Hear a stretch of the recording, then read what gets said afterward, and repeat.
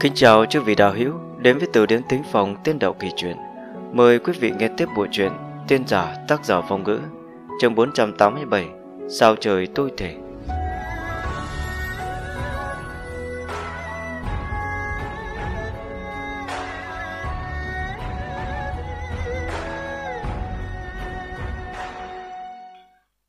Chúng ta là những tu sĩ ngoại lai, trong biết cảnh này gặp các loại nguy hiểm, vốn nên nắm tay hỗ trợ. Chỉ có Nguyễn Linh Tử bụng dạ hẹp hòi kia lại muốn gây ra nội chiến. Long Trung cười nói, ô lỗ nhuận miệng cười, đang muốn nói gì, chợt ngẩng đầu nhìn lên không trung. Đám người cũng nhìn nhau ngẩng đầu, nhưng thấy trên bầu trời có một viên cô tinh sáng lay động, phẳng phất như sắp rơi xuống. À, tình vũ vừa mới dừng không lâu, tại sao lại xuất hiện nữa? Thật sự là bực mình. Hồng Huynh, chúng ta thay phiên dùng pháp bảo chống cự, tài lực giảm xuống tổn thất. Như thế mặc dù sẽ tổn hại pháp bảo, nhưng ít ra có thể tiết kiệm một tấm bùa chú, chuẩn bị thời khắc mấu chốt để dùng. Long trùng nói một tiếng, sau đó nhắc nhở ô lỗ. Nghe thế, ô lỗ trên mặt lướt qua một tia do dự nhỏ bé không dễ nhận ra. Không vần cầu mì lại không nói một lời. Ô lỗ vừa mới gia nhập đội ngũ của bọn họ, quan hệ còn xa cách, nàng cũng không muốn dùng pháp bảo của mình để bảo hộ gã. Viên mình thấy thế, biết ô lỗ xấu hổ vì ví tiền rỗng tuếch. Muốn xuất ra mấy món pháp bảo cấp thấp không cần để ý để cấp cứu cho gã. Nhưng hắn vào ô lỗ, bề ngoài mới quen không lâu, làm như vậy có vẻ không tỏa đáng. Hồng Huynh chắc là pháp bảo không nhiều. Chỗ ta ngược lại có hai vật dự bị, có thể cho ngươi mượn dùng một lát. Long trùng hào phóng, lấy ra một đôi đoàn tương đèn nhánh, đều khắc đồ án long văn, cùng với một quyển khăn lụa tuyết trắng như ngọc đưa tới. À, tại hạ tuy nghèo khó, thực sự không dám lấy không pháp bảo của Long Huynh. Chư vị không cần lo lắng, trong tay của ta vẫn còn mấy món pháp bảo dự trữ, mặc dù không phải thuộc tính sao trời, ít nhất cũng có thể ngăn cản một hai, sẽ không liên lụy ba vị. Ô lỗ vội vàng khoát tay cự tuyệt nói. Long trùng và khung vân nghe gã nói như vậy thì cũng không kiên trì nữa. Mấy người trong khi nói chuyện, trên bầu trời tinh vũ lại xuất hiện. Từng viên lưu tình giống như giọt mưa liên miên rơi xuống, bốn người viên minh thương nghị trình tự xuất thủ. Từng người lấy ra pháp bảo, thay phiền chống đỡ tình vũ, mỗi người chỉ trèo trống nửa nén nhang. Nhưng tình vũ lần này kéo dài lâu hơn trước rất nhiều.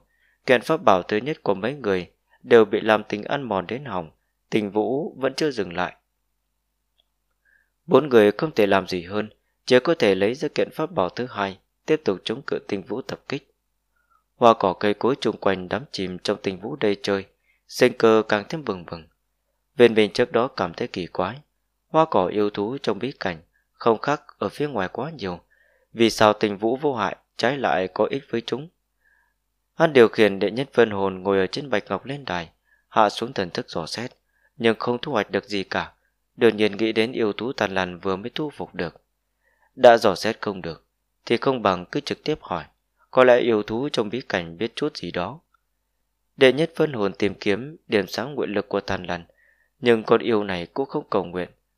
Không thể ở bên trong thao thiên tỉnh trực tiếp câu thông với nó. Ê, thật sách rồi. Vừa rồi hẳn nên gieo xuống hồn hàng phù. Viên Minh nói thầm một tiếng. Cùng mày vị trí án hiện tại cách đầm nước không xa, thần thức của đệ nhất vân hồn lan tràn tới, rất nhanh bao trùm yêu thú tàn lằn. Tàn lằn lúc này đang phun ra viên ngũ sắc yêu đan kia, hấp thu tinh quang rơi xuống. Chủ thượng, cảm nhận được thần thức của viên mình, thần lần vội vàng dừng tu luyện. Còn yêu thú này thực lực đạt tới cấp 3 đỉnh phong, linh trí đã sớm mở rộng, có thể truyền âm câu thông. Không sao, người tiếp tục tu luyện, ta chỉ có một chuyện muốn hỏi. Viên Minh hỏi nghi ngờ trong lòng. Chủ thượng, ta cũng không biết, từ khi sinh ra đã sinh hoạt ở nơi này, từ khi có được lên trí, tình vũ vẫn một mực như vậy. thần lần nói, viên Minh nghe thế thì trong lòng thất vọng. Xem ra có lẽ mình cả nghĩ quá rồi. Thần Lan đản sinh ở chỗ không gian này, tự nhiên sẽ không bị tình vũ gây thương tích, cũng không rõ nguyên nhân. Vậy những năm qua người có gặp được chuyện gì đặc dị không? ngoài trừ tu luyện cùng với sàn giết những yêu thú khác. Nhiều nguyên nhân không rõ, chuyện khó mà giải thích ý. Viên mình vẫn không cam tâm, lại hỏi. À, chuyện đặc dị cũng không có gì. Nhưng mà từ khi ta có được linh trí, mỗi lần chìm vào giấc ngủ, đều sẽ gặp một giấc mộng, xuất hiện trong một chỗ vô biên vô tận tinh không, chẳng biết cái này có tính hay không. Thần Lan nói, mộng, viên minh kẽ giật mình. Đây cũng coi là dị sự, thế nhưng không liên quan tới chuyện hắn đang nghi ngờ. Viên minh lại hỏi vài câu, thần Lan thật sự chẳng biết nên thu hồi thần thức. Viên đạo hữu đến người. Không vân nhìn lại, một vòng hiệp lực mới sắp tới viên viên minh. Lúc này Long Trùng đang ngăn cản tình vũ, không trùng trên đỉnh đầu mấy người, trèo lấy hai đoàn thương long văn màu đen, chính là pháp bảo mới vừa rồi tính cho ô lỗ mượn. Hai đoàn thương biến lớn mấy lần, nhanh chóng xoay quanh, hình thành một vòng bảo hộ màu đen, ngăn trở tinh quang rơi xuống. Chỉ là thân thương đã bị tinh quang ăn mòn hơn phân nửa, vòng bảo hộ màu đen càng ngày càng mỏng manh. Viên Minh đưa tay bấm niệm pháp quyết, một đạo tử sắc linh quang trong khoảnh khắc bay ra, rơi xuống trên đỉnh đầu đám người. Ba người long trùng ngẩng đầu, thấy viên minh tế già là một thanh trường thương bổ tím, có khắc phù văn của cửu long. Theo viên minh bấm niệm pháp quyết thôi động, trường thương xoay tròn trên đỉnh đầu mấy người, nhanh chóng hóa thành một vòng bảo hộ màu tím, che chở mọi người. Thương này chính là tử tinh cửu long thương, hắn có được từ sớm. Khi đó hắn chưa kết đàn, giao bảo vật này cho kim cước sử dụng. Chờ hắn kết thành kim đan lại có pháp bảo tốt hơn. Thẳng đến khi kim cương có tàm nhãn lưỡng nhận đau, từ tinh cửu long thương mới trở lại tay hắn. Viện mình hiện tại có rất nhiều pháp bảo, sớm quên từ tinh cửu long thương ở nơi hẻo lánh. Vừa mới nhìn thấy song thương long văn của long trùng, hắn chợt nhớ tới bảo vật này. Hắn chưa từng tế luyện qua bảo vật này, cô không quen thuộc chất liệu và phù văn của nó. Nhưng mà từ tinh cửu long thương mang theo một ngôi sao, có lẽ ẩn chứa thuộc tính một điểm sóc trời. So về pháp bảo phổ thông thì càng bền hơn. Bởi vì chưa ôn dưỡng qua, nên dao động khí tức của từ tinh cửu long thương cũng không mạnh. Đám người long trùng thấy thế, cũng chỉ nghĩ viên mình lấy ra một kiện pháp bảo bình thường, cũng không thèm để ý. Nhưng ngay lúc cả bọn muốn rời ánh mắt đi, bỗng thấy viên lưu tinh kia nện vào bên trên vòng bảo hộ màu tím, trong mấy chốc trực tiếp tàn rã. Đừng nói linh quang màu lam, ngay cả bản thể lưu tinh cũng ngay lập tức tàn rã. Cảnh tượng như vậy, ngay cả viên mình cũng lấy làm kinh hãi. Viên huynh, ngươi từ chỗ nào có được bảo vật sao trời vậy? Vì sao tình vũ ăn mòn nó yếu ớt như thế? Mà người đã có vật này, vì sao không lấy ra sớm? Long trùng ngạc nhiên hỏi. Ờ, món bảo vật này là trước kia ta ngẫu nhiên có được, bởi vì không tương xứng với công pháp ta tu luyện, liên tục đặt ở trong pháp khí chữ vật. Ta cũng không biết nó thần dị như thế, bằng không ta sẽ không lãng phí hai kiện pháp bảo rồi. Viên mình nói, Long trùng không truy đến cùng, chỉ nhìn trừng thương bầu tím, tâm tắc lên lòng kỳ lạ. Sắc mặt của viên mình yên lặng, nhưng trong lòng thì nhắc lên gợn sóng. Bây giờ hắn điều khiển từ tinh cửu long thương, cảm ứng nhạy cảm hơn những người khác. Những tình vũ kia rơi vào trên thương, không chỉ không mang tới một tia ăn bòn, mà tình quang đều bị thương này hấp thu, thậm chí còn làm cho uy năng của tứ tinh cửu long thương tăng lên. Xem ra trước kia quá bất cần rồi. Tử tinh cửu long thương này không phải là pháp bảo sóc trời bình thường. Viên bình thầm nghĩ, hai tay của hắn hử nhắc, đang muốn tế luyện một chút thương này. Đột nhiên nhớ tới năm đó, ở bên trong đấu giáo hội Tiểu Hồ Thành, có giới thiệu về tử tinh cửu long thương, chính là pháp bảo bản mệnh của một tu sĩ kết đan, Long Tinh Hà, rất nổi danh ở Đông Hải, tựa như có quan hệ với bí tàng nào đó ở Đông Hải. Đó không phải là nơi này sao? Long Huynh, Người có nghe nói qua cái tên Long Tinh Hà chưa? Viên Minh nhìn về phía Long Trùng. À, Long Tinh Hà, chưa từng nghe qua. Người này là ai? Long Trùng nhớ lại một chút, rồi lắc đầu nói. Một cố nhân ở Đông Hải, đột nhiên ta nhớ tới hắn, thuận miệng hỏi một chút. Từ tinh cửu Long Thương có khả năng liên quan tới bí cảnh. Viên Minh mập mờ nói. Long Trùng ồ một tiếng, không để ý. Ngược lại khung vân hồ nghi nhìn viên Minh một chút. Có từ tinh cửu long thương che chở, đám người long trùng không còn thay phiền tế ra pháp bảo chống cự tình vũ. Ngay từ đầu, long trùng, khung vân còn lo lắng, cho dù ăn mòn ít hơn nữa, từ tinh cửu long thường cũng sẽ tiếp nhận ở mức cao nhất, muốn thay thế viên minh Thế nhưng viên minh muốn xem từ tinh cửu long thường tiếp tục hấp thu tinh quang có thay đổi gì hay không, nên keo néo từ chối. Thời gian trôi qua, từ tinh cửu long thương gần như không thay đổi gì, liên quang không ảm đạm, trái lại tăng mạnh. Bây giờ bọn họ mới nhẹ nhõm, hùng hàng tán dương viên minh vận khí tốt. Tròn vẹn được canh giờ sau, trận tình vũ này mới ngừng lại. Viên minh triệu hồi từ tinh cửu long thương, chỉ thấy trên thân thương, linh quang màu tím dương mà không phát. Điểm điểm lam tình giấu ở bên trong phủ điêu lần phiếm cửu long, thâm thúy tựa như bầu trời đêm, có quần tinh lập lòe. Khi hai tay của viên mình chạm đến từ tinh cửu long thương, một cỗ lực lượng tinh thuần bỗng nhiên từ thân thương rót vào thân thể của hắn, dung nhập vào đầu khớp xương hắn. Xương cốt toàn thân của hắn âm ầm phát sáng, giống như bảo thạch. Chuyện gì xảy ra? Viên mình giật mình, cô không chờ hắn xem kỹ, thể nội lập tức truyền ra một hồi tiếng lốp bốp giòn vang. Trên xương cốt nổi lên rậm rạp vết dạn, đầu xương cũng như vậy. Hắn không khỏi kinh hãi, đang muốn ném từ tinh cửu long thương đi, thì vết dạn xương cốt đột nhiên nhanh chóng hấp thu tinh thần lực tràn ngập toàn thân, nhanh chóng khép lại. Mấy nhịp thở sau, vết dạn đều biến mất. Biến hóa liên tiếp quá nhanh, cho tới thời khắc này, hắn mới phản ứng kịp, vội vàng nội thị kiểm tra xương cốt các nơi. Sắc mặt hơi đổi một chút. Huỳnh Lam Tình đã biến mất không thấy gì nữa, xương cốt trắng hơn trước mấy phần, mơ hồ còn có một tầng tinh quang lưu động phía trên, thoạt nhìn cứng cỏi hơn trước rất nhiều. Viên Bình cẩn thận kiểm tra, rất nhanh xác định mật độ xương cốt toàn thân của hắn tăng nhiều, tăng lên tới mức độ gần như bù đắp được hiệu quả của một năm hương tượng đoán cốt thuật. Hắn vừa mừng vừa sợ, tu nạp tinh thần lực nhập thể, vậy mà có được hiệu quả tôi cốt kinh người như thế. Mà dưới tinh thần lực bảo hộ, toàn bộ quá trình cũng không cảm nhận được thống khổ. Dựa theo trình độ này, chỉ cần lại xuống mấy trận tình vũ, hắn có thể trực tiếp hoàn thành lột xác xương cốt, đạt tới thiết cốt cảnh, tiết kiệm thời gian 2 năm. Việt mình hiện lên nét vui mừng, quay đầu nói với ba người khác. Mấy vị chờ một chút. Đám long trùng không rõ cho lắm gật gật đầu. Tiếp theo thấy Việt mình khoanh chân ngồi xuống, đặt từ tinh cửu long thương trên gối, bấm niệm pháp quyết tế luyện nó. Từ tinh cửu long thương ẩn chứa long phủ văn, là pháp bảo long phủ văn bình thường nhất. Duy nhất đặc biệt chính là long phủ văn sau trời. Lấy tù vi của viên mình, không tới thời gian một đốt nhén nhang, đã hoàn toàn luyện hóa phù trận. Đầu thường bắn ra ánh sáng màu tím sắc bén dài hơn một trường. Viên mình khẽ vuốt cằm, từ tinh cửu long thương mặc dù chỉ là pháp bảo lăng phủ văn, lực công kích lại không như bình thường, vượt xa kim dương thước và chuôi cốt đao màu trắng kia. Hắn qua cua trưởng thương, đang muốn thu lại. Thì trên thân của từ tinh cửu long thương đột nhiên hiện ra một tầng tử quang u ám. Chỗ sâu ở tử quang bất ngờ có làm con mắt, không ngừng luân chuyển, thoạt nhìn quỷ dị tới cực điểm. Chương 488 Địa tâm hỏa lên Ánh mắt của viên mình trợn to lộ ra vẻ kinh ngạc. Thần thức của hắn đột nhiên cảm ứng được, ở bên trong thân thương như còn ẩn giấu thứ gì đó, đang tản ra từng đợt tinh thần lực yếu ớt. Nếu không chuyên tâm cảm ứng, dường như không thể phát hiện ra được. Đây là cái gì?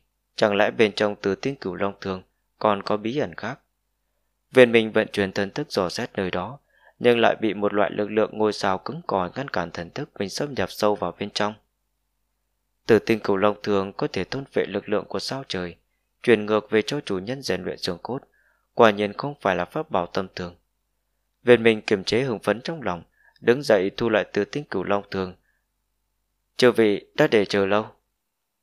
Không đáng ngại, chỉ là vừa rồi pháp bảo của viên minh người xảy ra vấn đề gì sao? Không có vấn đề, chỉ là pháp bảo này còn bất phàm hơn ta nghĩ nữa. Sau này gặp phải tình vũ cũng có thể tiếp tục lấy giá ngăn cản được. Viên Minh bất ngờ cười nói. Ồ, vậy sao? Vậy xem như cảm tạ viên huynh trước. Long trùng mừng rỡ. Khung Vân và ô lỗ cũng đều thấy vui vẻ. Có những lời này của viên Minh thì sau này trong bí cảnh gặp phải tình vũ đã không đáng lo nữa rồi. Về phần vì sao pháp bảo của viên Minh lại có công hiệu như thế thì ba người không hỏi tiếp. Ngay cả Long trùng thích dùng thương cũng chỉ thán phục pháp bảo của viên minh không ngừng, không để sinh tâm tư gì khác. Thông qua tình động, viên minh cảm nhận được cảm xúc trong lòng mấy người, nụ cười trên mặt cũng không khỏi sâu hơn rất nhiều. Đi thôi, hắc mộc la bàn chỉ dẫn bảo vật kia ngay ở phía trước. Khung vân lấy pháp bảo la bàn ra bấm quyết thúc dục. Hư ảnh chiếc thìa tròn hiện ra, phần cán thìa chuyển về phía đông bắc, sau đó lại đột nhiên xoay tròn, Sắc mặt của khung vân trầm xuống, hai tay nhanh chóng bấm quyết, nhưng hư ảnh trước thìa tròn vẫn chuyển động không ngừng, không cách nào ổn định lại được. Chuyện gì xảy ra thế? Không biết, đột nhiên không thể nào cảm ứng được khí tức của kiện bảo vật kia, chẳng lẽ đã bị người ta nhanh chân lấy trước? Khung Vân dừng lại thì pháp, sắc mặt rất khó coi. Việt Minh nhìn thoáng qua hướng đồng bắc, nơi đó là chỗ ở của yêu thú thần lằn. Chẳng lẽ bảo vật mà Khung Vân nói chính là từ cực thái tuế? Khung Vân và Long Trùng chưa từ bỏ ý định, tìm kiếm một hồi vẫn không thu hoạch được gì. Hai người chỉ có thể bất đắc dĩ từ bỏ, tìm kiếm kiện bảo vật khác, cũng thu được rất nhiều thứ. Viên Minh dùng thần thức của phân hồn thứ nhất làm chỉ dẫn, thu thập một đống các loại linh tài kịch độc bỏ vào bên trong túi linh thú có chứa từ cực thái tuế. Hai canh giờ sau, bốn người cuối cùng đã đi tới sát rìa của đại lục cỏ tím này. Ben nhìn về phía trước. Trong mấy đại lục lơ lửng ở trước mặt bọn họ, có một đại lục gần nhất, nhìn qua còn khổng lồ hơn đại lục cỏ tím này. Bên trên đó lại bao phủ bởi một màu đỏ thẫm, cũng không nhìn thấy hoa cỏ cây trồng gì cả. Mấy người thương nghị một chút, nhất trí quyết định đi tới chỗ khối đại lục này. Bọn họ đã có kinh nghiệm đi tới đại lục mới, nên mỗi người đều thi triển rất thủ đoạn bảo vệ thân thể riêng, sau đó độn quang bay về phía đại lục mới. Cũng như lúc trước, bọn họ vừa mới rời khỏi đại lục cò tím, thì lực hút quỷ dị lại xuất hiện. Lần này lực hút mạnh gấp 3 lần lúc trước, khiến thân thể của bọn họ đồng loạt bị rời xuống phía dưới. Biên cố như thế nằm trong dự liệu của cả bốn người, chỉ là đến quá vội vàng cũng kịp đề phòng mà thôi. Long trùng gầm lên, một hạt châu màu xanh lam xuất hiện trên đỉnh đầu của y, tản ra một màn linh quang màu lam, bao phủ cả thân thể y lại, khó khăn lắm mới ngăn cản được đà rơi xuống. Mà khung vân cũng không biết thi triển bí pháp gì, trên hai chân liên tục lóe lên ánh đôi quang màu tím, cũng khó khăn lắm mới nâng giữ nàng lại. Ô lỗ thì đưa tay, bắt ra một đạo pháp quyết quỷ dị, huyết tường mãnh liệt đột nhiên hiện ra, bao vây cả người y thành huyết nhân. Mới khó khăn lắm ngăn cản được thế rơi xuống. Vốn viên mình là kẻ cố sức nhất trong bọn họ, nhưng khi rơi xuống, không hiểu ma xui quỷ khiến thế nào, lại lấy ra từ tinh cửu long thương, một luồng lực lượng tinh thần, phun ra triệt tiêu hết lực hút bên dưới, vậy mà tiết kiệm được không ít sức lực so với ban đầu. Chỉ là thúc giục pháp bảo này cũng cần pháp lực, càng rời sát đại lục cỏ tím, thì hấp lực càng tiếp tục tăng cường, pháp lực bốn người nhanh chóng tiêu hao, viên mình lại trở thành người đầu tiên không thể chống đỡ nổi. Bấy giờ hắn có cảm giác sâu sắc được tu vi của bản thân quá thấp. Những nan đề đòi hỏi cần pháp lực cao như thế này, hắn vẫn khó mà ứng phó được. Để đến được đại lục tiếp theo, bấy giờ hắn không thể không lấy thêm linh thạch ra bổ sung cho lượng pháp lực bị tiêu hao. Cùng bốn người thì pháp gần như cạn kiệt sức lực mới thoát được lực hút, đi tới khối đại lục mới, mà trong tay viên mình cũng có thêm vài khối linh thạch thượng phẩm bị hắn hút khô pháp lực, hóa thành mảnh vụn rơi xuống. Đám người viên mình vất vả lắm mới đáp được xuống đại lục mới. Vừa mới điều tức đánh ra bốn phía, chỉ thấy dưới chân bọn họ là đất đá cằn cỗi. Ngoài đất đỏ và nham thạch đỏ thẫm nơi nơi ra, thì hoàn toàn không có bất kỳ sinh linh hay thực vật nào khác. Khi nóng hừng hực trên mặt đất hất lên từng đợt, Đi lại ở đây như thể đang đi ở dưới dòng suối nước nóng, không ngừng bị hơi nước nóng bốc lên, hù nên nóng cả người. Linh khí thuộc tính hỏa nồng đậm quá, nơi này đối với tu sĩ tinh tu, hỏa pháp mà nói, quả thực chính là một động thiên phúc địa. Tuy rằng lông trùng tu luyện công pháp thuộc tính thủy, nhưng không ghét bỏ hoàn toàn nơi này, cảm thụ một chút ký tức trong hư không chung quanh, rồi cười lớn nói. Nơi quỷ quái này mà cũng coi là động tiên phúc địa. Không vân trợn trắng mắt nói. Ờ, bỏ qua các yếu tố khác, sao lại không tính? Long trùng cười nói. Lúc đầu mới tiến vào bí cảnh, hai người Long trùng và không vân còn bình thường. Sau này dần dần hiện nguyên hình, không ngừng đấu võ mồm với nhau. Chỉ là loại tranh đấu này càng giống như là tán tỉnh. Tảng đá trên mặt đất phía trước hai người đột nhiên vỡ ra, một cái bóng đỏ bắn ra, lóe lên như chớp, phóng thẳng tới cổ chân của khung vân. Hóa ra đó là một con bọ cạp màu đỏ to bằng chậu rửa mặt. Khung vân cả kinh, đang muốn lùi về phía sau né tránh, thì một thanh trường thức màu tím từ bên cạnh phóng với tốc độ còn nhanh hơn nữa, chém đôi con bọ cạp đỏ thành hai đoạn. Hai vị đừng chỉ lo nói chuyện, nơi này cũng đầy cổ quái, cẩn thận vẫn hơn. Viên mình thu hồi từ tinh cửu long thương lại, nhắc nhở. Vừa mới tìm bảo vật ở đại lục cỏ tím, lại gặp một trận mưa sao băng, từ tinh cửu long thường hấp thu không ít tinh thần lực, uy lực lại tăng lên. Đa tạ viên huynh, khuôn mặt xinh đẹp của khung vân ưng đỏ, hùng hăng trừng mắt với Long Trùng một cái, rồi nói lời cảm tạ. Nên làm gì tiếp theo đây, còn phải nhờ đến cung cô nương. Ô lỗ cười nói, cùng vân lại lấy ra la bàn hắc mộc, hư ảnh chiếc thuyền xoay tròn, một vòng rồi chỉ về phía trước. Qua lần tầm bảo ở lục địa cỏ tím xong, mọi người cũng đã tin tưởng vào khả năng của hắc mộc la bàn, nên lập tức dựa theo chỉ dẫn mà tiến. Đại lục màu đỏ này rộng lớn hơn đại lục cỏ tím, đảo mắt đi qua hơn nửa ngày, nhưng phía trước đám người vẫn chỉ là mặt đất đỏ thẫm, mênh mông không có điểm cuối. Càng đi sâu vào đại lục, linh khí thuộc tính hỏa càng đồng đậm, linh tài thuộc tính hỏa cũng thường xuyên xuất hiện, bốn người thu hoạch được rất nhiều. Tuy rằng đại lục màu đỏ này không có nhiều kịch độc như đại lục cỏ tím, nhưng lại có rất nhiều yêu thú hỏa thuộc tính, nhiều loại thần thông kỳ lạ mà không chỉ đám người viên minh, kể cả tịch ảnh cũng chưa từng thấy qua. Cùng mày thần thông của cả bốn người đều bất phàm. Tuy rằng dọc theo đường đi liên tiếp gặp nguy cơ, nhưng cũng không bị thương nặng. Đoàn người đi xuyên qua một sa mạc nóng cháy, khổng Vân lại lấy ra la bàn, hư ảnh chiếc thìa tròn chấn động không ngừng, rồi chỉ về phía trước bên trái. Cảm ứng mãnh liệt như vậy, xem ra nơi này có trọng bảo. Viên Minh nhìn theo phương hướng cán thìa chỉ, thấy nơi đó địa thế dần dần nâng lên cao, đến phần sau của ngọn núi nơi xa xa, nhìn qua mơ hồ còn giống như sương mù bay lên, cũng rõ ràng nơi đó vô cùng đồng đậm linh khí. Viên Minh cất bước đi tới triển núi phía trước, ô lỗ thì theo sát phía sau, Long trùng và khung vân không nói gì cũng đi theo phía sau. Có lẽ chính bọn họ cũng không phát hiện ra, sau hàng loạt chuyện phát sinh, viên bình đã vô hình trùng trở thành thủ lĩnh của tiểu đội bọn họ. Đại lục này vô cùng nóng lực, mấy người cũng không dám đi quá nhanh, phải mất một lúc mới vượt qua được sườn ngọn núi. ập vào mặt là một luồng linh khí càng thêm nóng rực, xen lẫn với mùi lưu huỳnh bên trong. Viên mình đứng ở bên trên sườn núi, nhìn về phía sườn núi bên kia, địa thế dốc xuống và cũng trũng xuống thấp, mặt đất nứt ra từng vết nứt thật lớn, trong khe nứt nấp đầy những dung nham đỏ sậm. Chính giữa là một hồ dung nham khổng lồ rộng mấy trượng, trong hồ, bồn nóng đỏ thẫm sôi sục, khí lưu không ngừng tuôn ra, phình lên thành từng bong bóng khí cực lớn rồi lại vỡ tung. Bên trên lớp dung nham nóng chảy sôi sục là một lớp khói mù lượn lờ, thi thoảng còn bắn lên vài tia lửa lập lè như con hỏa dao quay cuồng, chợt lóe lên rồi biến mất. Người theo luồng sóng khí nóng rực cùng với mùi hăng gầy mũi, ai nấy đều không nhịn nổi mà nhau mắt lại. Cùng Vân lại lấy ra là bàn hắc mộc cảm ứng một lần nữa. Lúc này, hàng mày đang nhíu chặt của long trùng chật buông lỏng. Y tung người nhảy lên, đạp xuống lớp nhâm thạch vỡ vụn, ở bên bờ hồ dung nham. Những người khác thấy thế, mặc dù không rõ nguyên nhân, nhưng cũng đều đuổi theo sau. Khi tất cả đều đã đến sắp mép hồ dung nham, Long trùng vẫn bày ra một bộ tư thái kiêu ngạo nhìn về phía trước. Người là tộc nhân của hỏa viên à? Mắc gì cấp bách như vậy? Rốt cuộc là phát hiện ra cái gì? Khùng Vân nhíu mày hỏi. Các người không phát hiện ra sao? Chỗ trung tâm hồ. Long trùng không quay đầu lại, chỉ vào mặt hồ trước mặt.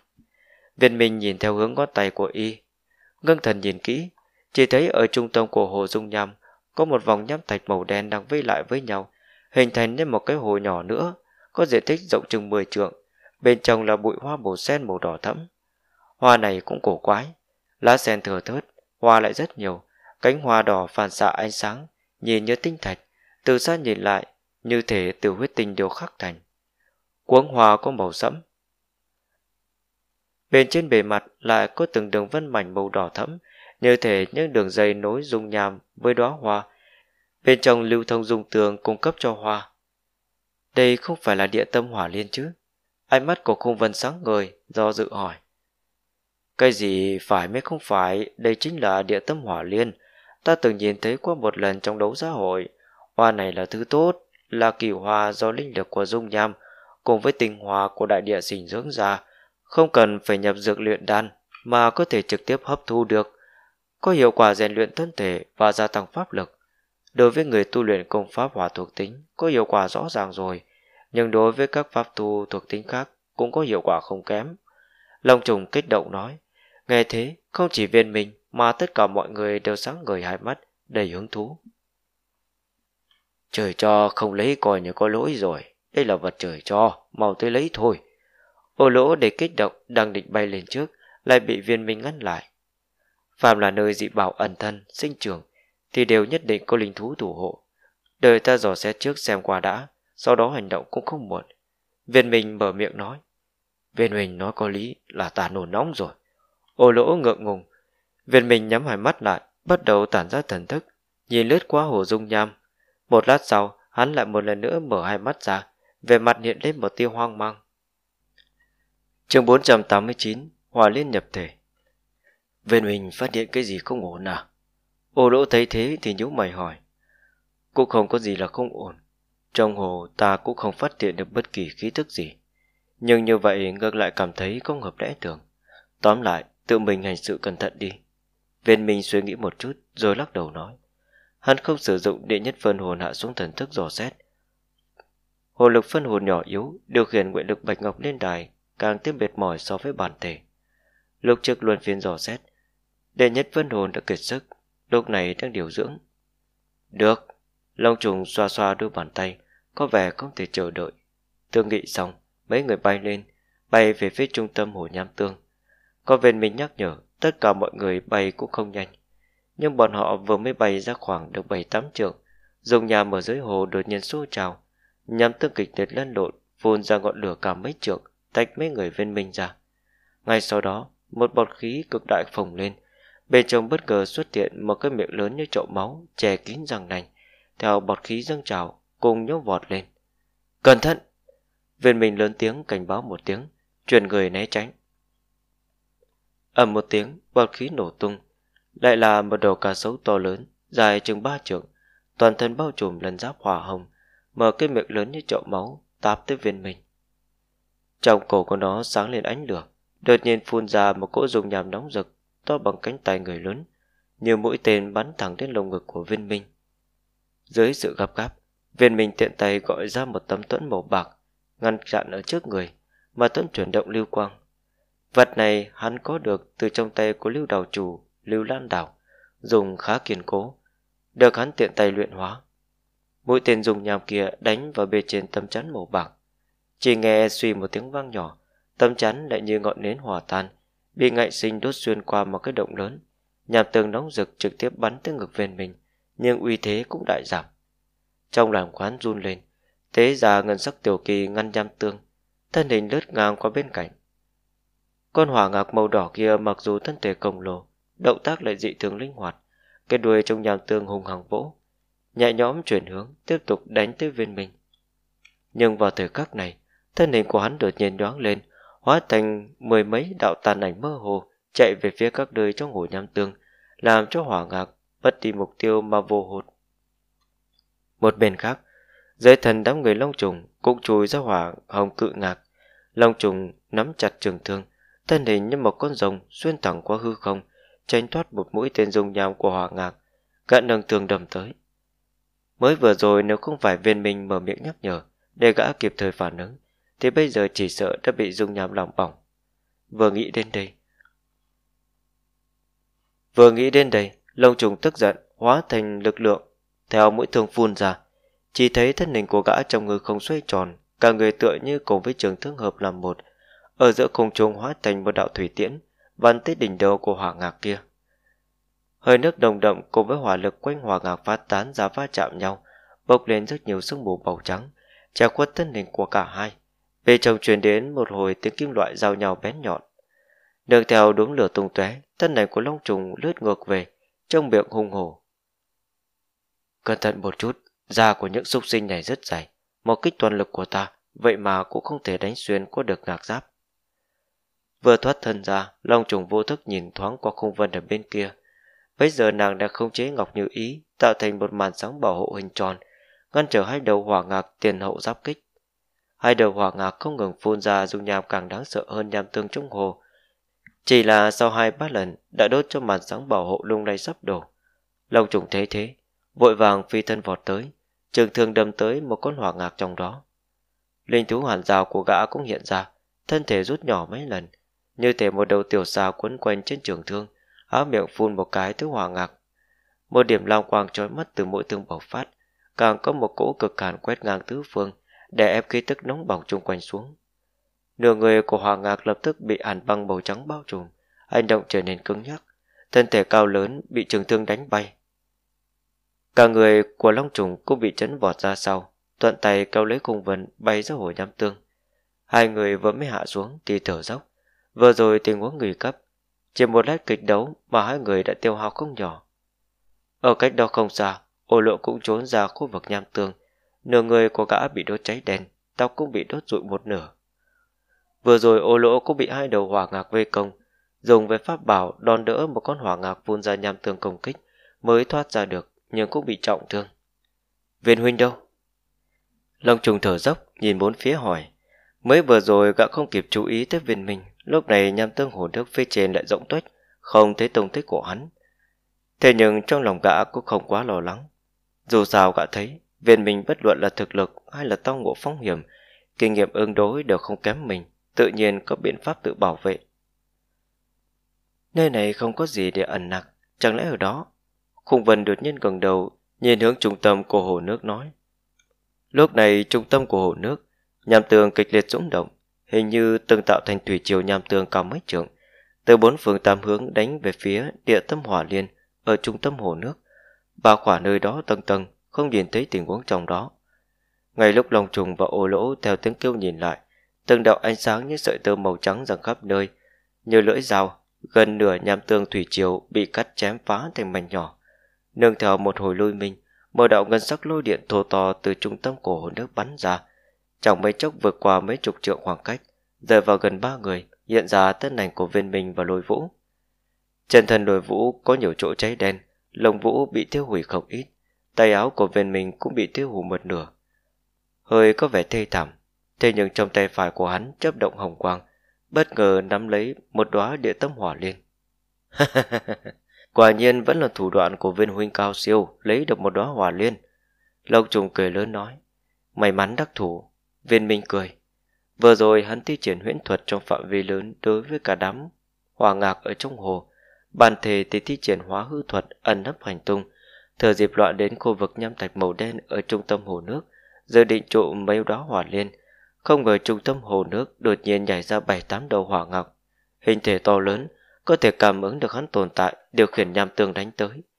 Tình huống gấp gáp, viên minh dùng hàn nguyệt giới, cưỡng ép phá vỡ đi song giữ nham tương, bắt lấy một đóa địa tâm hỏa liên, sau đó triệu hồi ra lồi vũ trốn thoát. Chỉ là số lượng của hỏa ngạc ở trung tâm hồ nước rất nhiều, thực lực mạnh mẽ, viên minh cũng không thể hoàn toàn tránh thoát, thụ thương nhẹ. Mười mấy đầu hỏa ngạc với hai mắt bốc hỏa đuổi theo, đám viên minh vội vàng trượt thoái ra sau. Những hỏa ngạc kia chỉ đuổi tới bên hồ, nhưng không đến bờ, gào thét về phía mấy người vài tiếng. Sau đó cả người bắt đầu chìm xuống hồ dung nham. Xem ra những hỏa ngạc này sẽ không rời hồ nham tương. Ô lỗ nói. Đám người viên minh đồng ý, thân hình của hỏa ngạc chậm rãi chìm vào bên trong nham tương, khí tức hoàn toàn biến mất, không lưu lại nửa điểm. Bốn người lộ vẻ kinh ngạc, thần trí của bọn họ đang truy tung những hỏa ngạc kia, nhưng sau khi chúng chìm xuống nham tương, đột nhiên biến mất không thấy gì nữa. Thần thức của mấy người cũng mất xấu. Sao lại thế? Thân thể những hỏa ngạc này không phải là nham tương tạo thành chứ? Tiến vào hồ nước, liền tan ra bên trong sao? Khung Vân mở to hai mắt nhìn mà khó tin nói. Theo ta thấy những hỏa ngạc kia đều có huyết nhục, khả năng tinh thông một loại ẩn nặc thuật pháp cao minh nào đó. Long trùng sơ cầm, suy đoán. Viên mình không để ý đến những hỏa ngạc đó, khôi phục pháp thuật, vừa quan sát hỏa liên trên tay. Đây chính là địa tâm hỏa liên, tranh thủ thời gian một chút, xem hiệu quả có giống trong truyền thuyết không. Khung vân một mặt, hiếu kỳ mà thúc giục. Ô lỗ nút hai viên đan dược chữa thương, vết bỏng đã khôi phục hơn phân nửa. Bây giờ cũng đang hứng thú nhìn hỏa liêm chấp động hồng quang trong tay viên minh. Viên minh gật đầu nhẹ, ngồi xuống một tảng đá lớn phụ cận. Lôi vũ và hoa trì, một tà một hữu núp ở nơi đó, Ba người ô lỗ thì đứng tại chỗ xa hơn, hộ pháp cho hắn. Dựa theo Long Trùng nói, viên mình cũng không cần xử lý gì. Lúc này bẻ một cánh hoa để tâm hỏa liên. Hoa này có cánh mỏng manh, giống như băng tinh thật mỏng, chạm vào ôn nhuận có cảm giác như ngọc thạch. Viên mình dò xét, liền đưa cánh hoa kia vào trong miệng. Một mùi thơm nhàn nhạt, nhạt trong miệng hắn chợt mờ mịt. Cánh hoa mỏng như băng tinh trong nháy mắt hỏa tan, hỗn hợp nước bọt trong miệng, rồi trượt vào trong bụng. Chờ sau giây lát, viên mình cũng không cảm thấy có bất kỳ chỗ khó chịu nào. Nhưng tương tự cũng không cảm thấy được bất kỳ biến hóa nào không khỏi nhìn về phía Long Trùng. Ơ đừng có nhìn ta, ta cũng chưa ăn vật này. Có lẽ người ăn ít quá. Long Trùng giơ hai tay nói. Viên mình hơi suy nghĩ một chút, liền gỡ ra thêm một cánh hoa đưa vào trong miệng. Đợi đến khi hắn nuốt hết tất cả cánh hoa vào trong bụng, còn lại nhị hoa và cành hoa, cô bị hắn nhả nuốt xuống. Một cỗ nhiệt lưu nhàn nhạt, nhạt xuất hiện cũng không mãnh liệt. Viên mình vận chuyển pháp lực, ý đồ luyện hóa cỗ nhiệt lưu này. Kết quả trong bụng đột nhiên ầm một tiếng, tựa như dâng lên một đám lửa hừng hực. Một cỗ hơi nóng hầm hập xông lên, trong mấy chốc khiến cả khuôn mặt quán đỏ bừng. Hắn lập tức cảm giác được một cỗ linh lực nồng đậm vô cùng, không thể khống chế được mà bắt đầu chạy khắp cơ thể, làm kỳ kinh bắt mạch phồng lên, lại cực nóng không chịu nổi. Nếu không xử trí, gần như sẽ càng nứt. Quanh thân của hắn kịch liệt đầu nhức, một hồi nhẹ răng trợn mắt, nhưng trong lòng thì vui mừng. Lúc này vận công ép xuống, luyện hóa hấp thu cỗ linh lực kia. Tên địa linh khí chung quanh bị dẫn động như tiểu chiều rót vào thân thể của hắn, Ân ẩn tạo thành một vòng xoáy linh khí. Mấy người long trùng thấy vậy, toát đầu trái tim căng thẳng được để xuống, trên mặt không khỏi lộ ra một vẻ hâm mộ. Nhưng mà sau một lát, cỗ linh lực kia bị viên minh triệt để luyện hóa, hóa thành pháp lực đưa vào trong đan điền. Mà trong đan điền của hắn là một mảnh pháp lực sôi trào, tu vi chẳng mấy chốc đã tịnh tiến cực lớn, trực tiếp đạt tới kết đan sơ kỳ đỉnh phong, khoảng cách trung kỳ chỉ là còn một đường. Viên minh có thể cảm giác được, chỉ cần phục dụng thêm một đóa địa tâm hỏa lên, hắn có thể trực tiếp đột phá đến kết đan trung kỳ. Ngoài ra, thân thể của hắn cũng nhận được rèn luyện. Trong lỗ chân lông thẩm thấu ra rất nhiều tạp chất màu đen, cho dù cơ bắp hay là xương cốt đều được cường hóa không nhỏ. Chương 490 Làm người phải biết lý lẽ Viên huynh cảm thấy thế nào? Thấy viên minh mở mắt ra, Long trùng vội hỏi. Khung vân và ô lỗ cũng đầy mặt hỏi han. Rất ổn. Viên minh triệu hoán ra nước sạch cọ rửa chất bẩn trên người, rồi gật đầu đáp. Chỉ thế thôi à? Long trùng như không hài lòng với câu trả lời này. Huyền diệu trong đó không thể nào dùng lời nói để tóm được, phải tự mình cảm nhận. Lúc này tâm tình của viên minh rất thoải mái, cố ý làm ra vẻ nói. Cùng vân trợn trắng mắt, còn ô lỗ thì lộ ra vài phần ý cười. Hiển nhiên gã đã rõ tính cách của viên minh.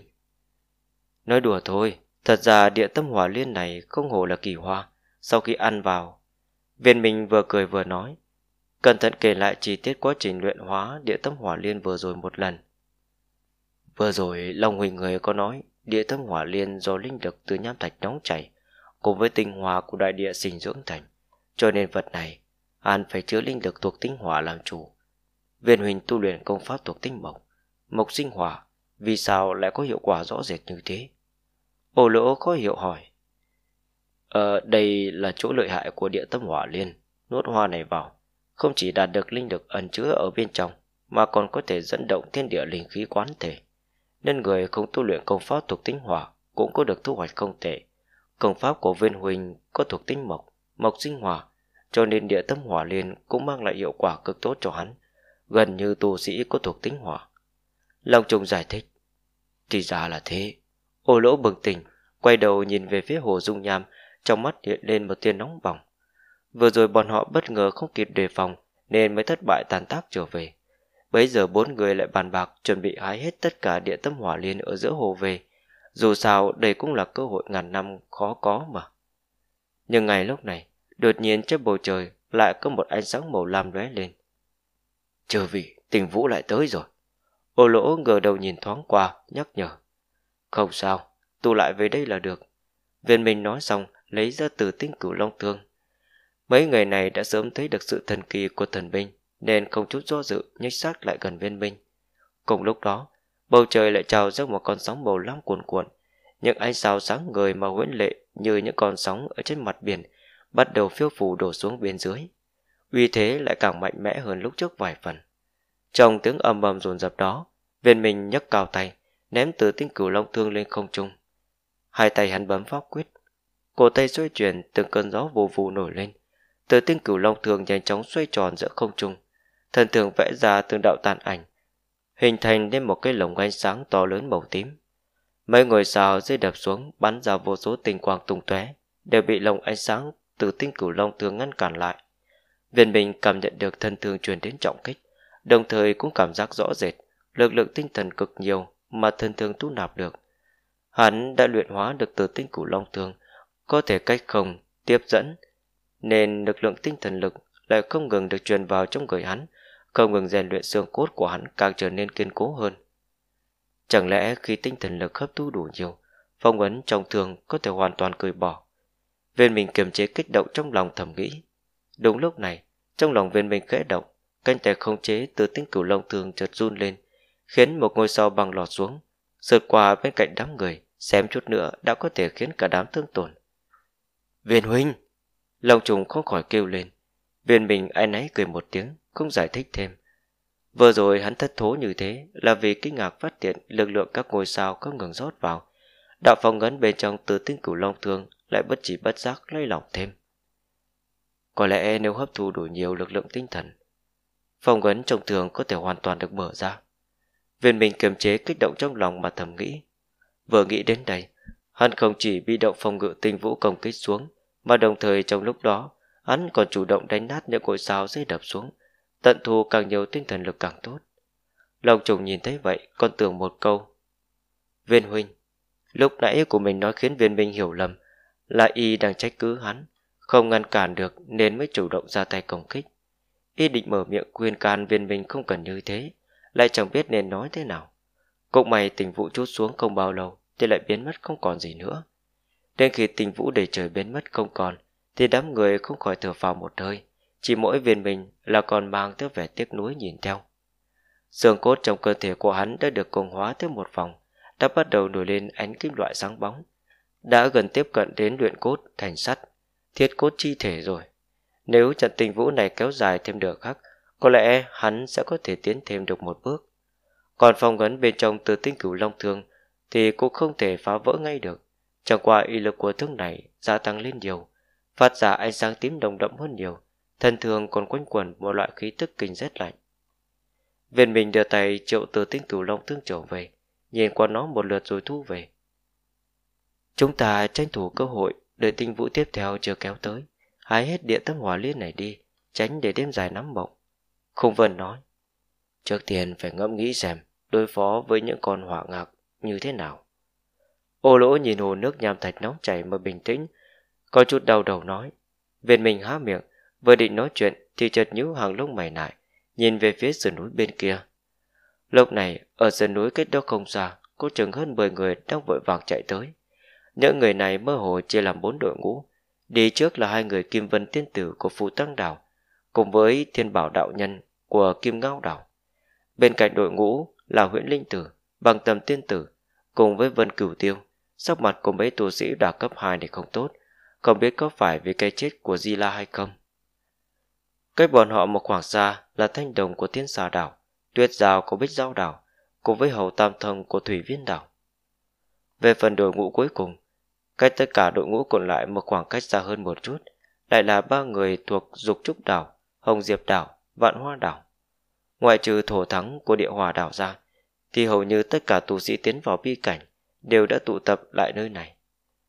Lúc mấy người viên minh nhìn thấy đám người này, bọn họ cũng trông thấy bốn người viên minh. Vẻ mặt cầu Nguyễn Linh Tử bất thiện, hơn nữa lúc đảo mắt nhìn qua viên minh, còn mang theo lo lắng và oán hận khắc cốt. Chỉ là gã không tiến lên báo thù mà thôi. Gã hít sâu một hơi, nhìn về phía ô lỗ đứng bên cạnh viên minh. Hồng đạo hữu, người đi theo bọn họ làm gì? Con không mau lại đây. Lúc nói lời này, ánh mắt của Nguyễn Linh Tử không nhìn ô lỗ, mà lại như có như không nhìn qua viên minh một cái, tựa như là đang xem xét phản ứng của hắn. Viên minh âm thầm cười lạnh, cô không tiến lên ngăn cản. Ô lỗ chỉ ai nấy cười một tiếng với Nguyễn Linh Tử, lại không nói tiếng nào. Thấy thái độ của y như vậy, Nguyễn Linh Tử càng thêm nôn nóng, gần sàn trên thái dương, gồ lên hiển nhiên là đã cực kỳ tức giận. Gã ngầm vận hồn lực điều động Nguyễn trùng trong thức khải của ô lỗ. Nhưng Nguyễn trùng đó đã sớm bị viên minh khu trừ. Dù Nguyễn linh tử có tỷ pháp thế nào, thì cũng không tạo ra bất kỳ phản ứng gì. Ngay sau đó, Nguyễn linh tử cong mày lại, trong mắt lóe lên tiếng kinh ngạc, sau đó mới nhớ tới chuyện gì đó, mà nhìn qua viên mình, ánh mắt càng lúc càng lạnh lẽo. Đám người thanh đồng còn nghĩ có thể hóng chuyện thêm vui, lại không thấy Nguyễn Linh Tử phát tác, chỉ đành ôm thất vọng. Nguyễn Linh Tử đạo hiếu, mấy kẻ này không biết tốt xấu, không ra tay dạy bọn họ một bài sao. Thanh đồng lẻ lưỡi, liếm môi, không sợ thiên hạ đại loạn. Chõ miệng vào hỏi một câu. Người quên chúng ta tới đây là làm gì rồi sao? Nguyễn Linh Tử liếc mắt nhìn gã. À đúng, đúng đúng. Người nói bên này có khí tức của thiên tài địa bảo. Thanh đồng nghe vậy, vừa nói vừa dò xét bốn phía, rất nhanh đã phát hiện ra địa tâm hỏa liên ở giữa hồ dung nham. Kia là địa tâm hỏa liên đúng không? Hầu Tam Thông cũng phát hiện ra bảo bối mà kinh ngạc lên tiếng. Nhất thời mọi người đều bị những lời này hấp dẫn ánh mắt, đồng loạt nhìn về phía bên kia rồi kinh hãi hô lên. Ngay cả Kim Vân Tiên Tử, Tiên Bảo Đạo Nhân cũng không ngoại lệ. Trong khoảng thời gian ngắn này, lại không có ai chú ý tới đám người viên bình nữa. Tiên Bảo Đạo Nhân vỗ nhẹ túi linh thú bên hông, một con tiểu thú màu xanh lam bay ra đạp xuống vai y. Thú này đầu hổ, thân báo, đuôi rồng, nhìn qua đã thấy không phải là linh thú tầm thường. Đây là thụy thú tỷ hưu. Trong thao tiên đỉnh, tịch ảnh kinh ngạc kêu lên. Tỷ hưu là linh thú trong truyền thuyết có miệng không hậu môn, nuốt vạn vật mà không bài tiết, nạp tứ phương mà không xuất ra ngoài, rất tiện tâm bảo. Về mình truyền âm đáp lại. Nhìn qua cũng tương tự, chỉ là tỳ hưu trời sinh sáu chân, ở đây chỉ bốn chân, có vẻ không phải là tỳ hưu tuần trùng. Tây Cảnh nói, tiểu thú màu lam uể oải ngáp một cái, mới mở to mắt nhìn về phía trung tâm của hồ dung nham, tay nhỏ dựng lên. Kêu lên hưng phấn, còn muốn tung người bay về phía hồ nước. Tiên bảo đạo nhân mới đưa tay bắt nó trở về, bỏ lên bả vai, rồi cười nói với Kim Vân tiên tử bên cạnh. Xem ra đúng là địa tâm hỏa liên, vận khí tiên tử quả không tệ, chỉ cần hái hai đóa hoa là người có thể nắm chắc đột phá nguyên anh kỳ thêm mấy phần rồi. Trong mắt của Kim Vân tiên tử có xuyệt qua một tia vui mừng, nhìn về phía trước. Này, mấy người các người tới sớm, sao chưa hái hỏa liên? Còn đang đợi cái gì? Thanh đồng nghe hai người kia nói vậy, trên mặt duyệt qua chút vui vẻ, đưa tay chỉ về phía đám người viên minh hỏi. Đương nhiên không phải đợi phế vật ngươi rồi. Lông trùng đổi thái độ, từ nhiệt tình chuyển sang không chút khách khí, hư lạnh đáp. Người nói gì? Đồng tử dựng đứng của thanh đồng co rút lại, sát khí nồng đậm. Viên minh không kinh ngạc, thiên xà đảo vốn không hợp với thiên long đảo. Điểm này cả Đông Hải ai nấy đều biết, chẳng qua cũng không nói thẳng ra mặt mà thôi. Mâu thuẫn của hai bên bắt đầu từ tên hòn đảo. Thiên Long đảo lấy rồng làm tên, Thiên xà đảo lấy rắn làm hiệu. Mục tiêu của Thiên xà đảo là lột bỏ ra rắn hóa thành thân rồng, mà Thiên Long đảo lấy rồng làm tên đã phạm vào đại kỵ của xà nhân tộc. Vì thế hai bên đã kết thủ oán hơn ngàn năm, nhìn nhau không vừa mắt, có cơ hội sẽ không ngừng đối chọi gay gắt. Ta nói là mọi thứ có trước có sau, các người đã đến chậm thì đợi chúng ta hãy xong nhặt nhạnh lại mấy thứ còn thừa lại của chúng ta. Làm người thì phải biết lý lẽ chứ, có đúng hay không? Long trùng không lùi bước mà trêu chọc nói. Chỉ là lời này vừa nói ra, lập tức khiến cho tất cả các tù sĩ đến sau phải đưa mắt nhìn qua y. Hết chương 490, cảm ơn và hẹn gặp lại chư vị.